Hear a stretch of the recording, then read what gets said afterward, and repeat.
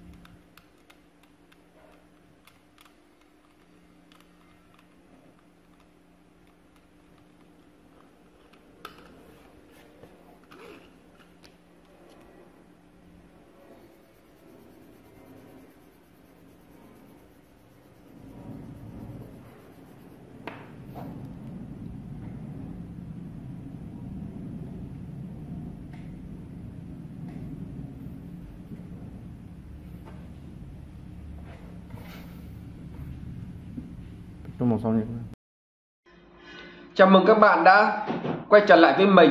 Như các bạn đã thấy, đây là phòng làm việc của mình, là nơi mình trang trí.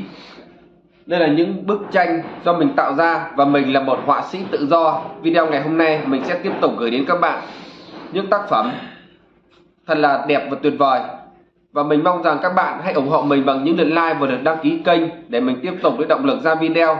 Còn bây giờ, mời các bạn cùng theo dõi quá trình mình tạo ra video. Cảm ơn các bạn rất là nhiều. Tiếp tục tô màu nha các bạn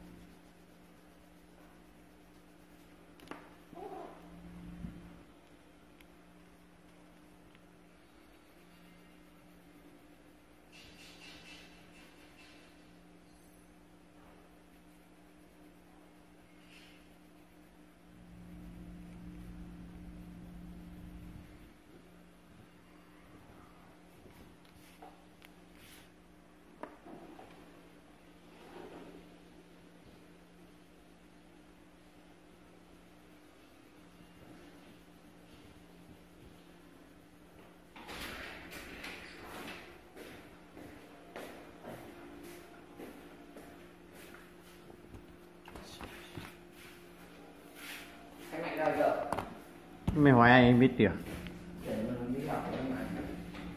đi học còn gì đấy. Đi học phải đi học chứ.